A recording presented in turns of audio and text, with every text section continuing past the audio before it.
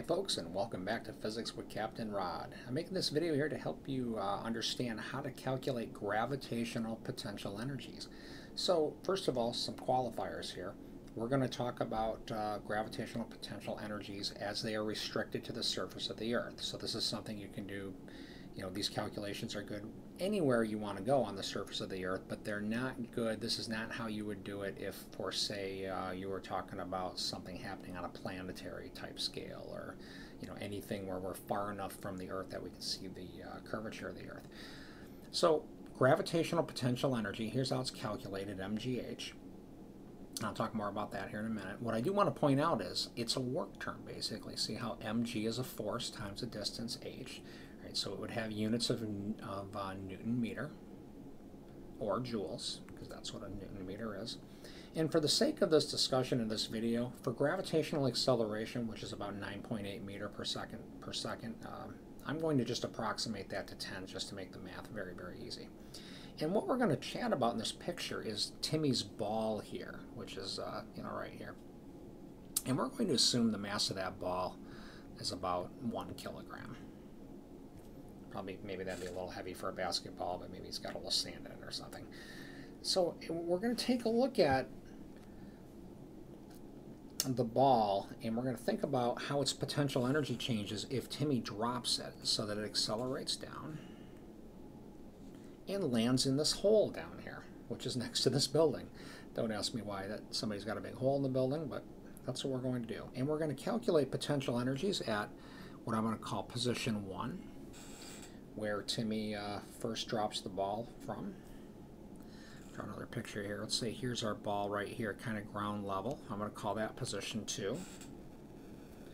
And right before impact here, we're going to call that one position 3. And we're going to take a look at these, uh, these numbers. All right, so PE1. All right, it's going to be an MGH term. And before you can calculate a potential energy, you have to define where to measure the potential energy from. That's called your datum. So what I'm going to do is I'm going to put a line here. And I'm going to go ahead and put it at ground level. Ground level is a real common uh, datum location for uh, gravitational problems.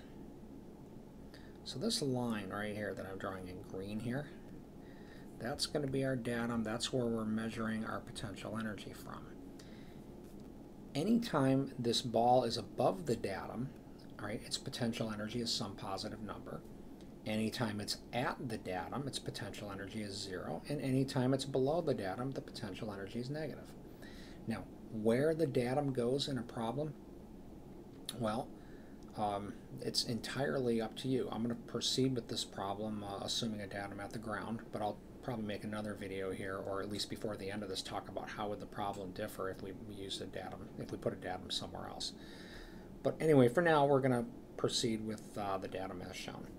So the PE1 term, right, that's going to be an MGH. Now, I would normally call it like H1, the height of the ball in position 1. And when we put numbers into this, we're going to go 1 kilogram times about 10 meter per second squared times the height above the datum of 10 meters. Whoops. And I think what I'll do is I'm just going to take the units out here.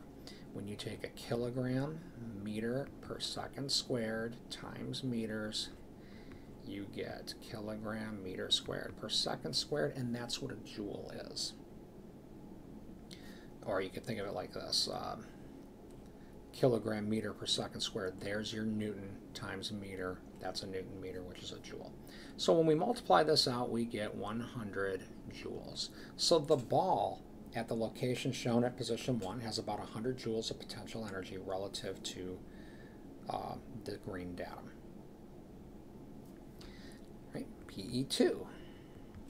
The potential energy of the ball at position 2, right, mg h2, meaning the height in picture 2, and h2 is 0, so the entire potential energy term there is 0. Let's talk about PE3. Potential energy of the ball in picture 3, again that's going to be an mg times h3. Now, I'm, here's how I like to handle potential energy terms. The mass is 1, g is 10, the height is 3, and we are below the datum, so this is a negative potential energy term. If you're wondering, could we put that minus sign with the 3, the answer is yes, that would work out fine. Uh, I like to think of it like this is a potential energy term, we're below the datum, so that's going to be um, negative. Anyway, we multiply this out, it will be in joules, and we get minus 30 joules. Now, some things to consider here. Let's talk about now the difference in potential energy between positions 1 and 3. Now if I write this out, that would be PE3 minus PE1, which is minus 30 joules minus PE1, which is 100 joules and we get minus 130 joules. Now, if you'll humor me now, we're going to take this in a different direction. Let's just say I'm going to put a blue datum in now.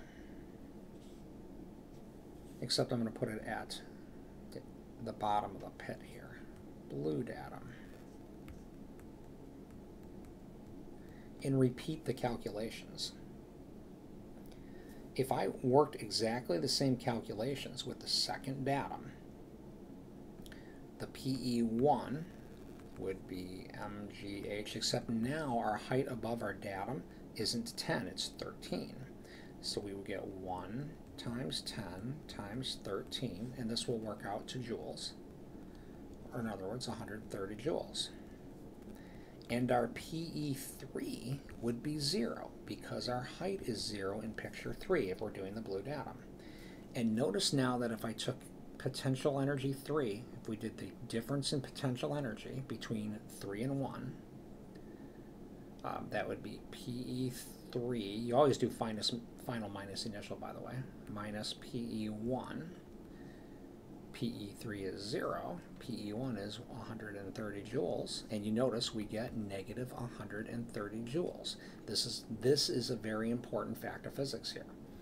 The difference in potential energy between these two locations, positions 1 and 3, is 130 joules, no matter where you put the datum. And that's why it doesn't matter um, as far as being able to put a datum anywhere you want. Because when you're writing equations in physics, the only thing that ever matters are differences in potential energy. And the difference in potential energy between 1 and 3 is 130 joules, and it's negative, meaning that potential energy 1 is 100 joules, 130 joules higher in potential energy than um, position 3. So we could put the datum if we wanted to. In fact, let me just do this I won't write it down, but let's say we did a red datum. I'll put it right here. Boom. And now, anybody watching the video, ask yourself, well, what would PE1 be? I want you know, if you're watching this, just take a moment, see if you can figure that out. What would PE3 be? And what would the difference in potential energy be between 1 and 3?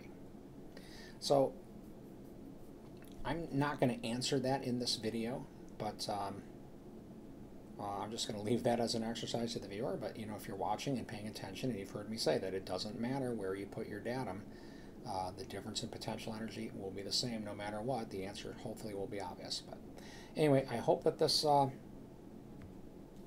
helps uh, anyone watching this understand how to calculate gravitational potential energies and realize that differences in potential energy uh, are not dictated by where the datum is. And that's a very important uh, fact of life for physics. So anyway, hope this video helped. Have a great day.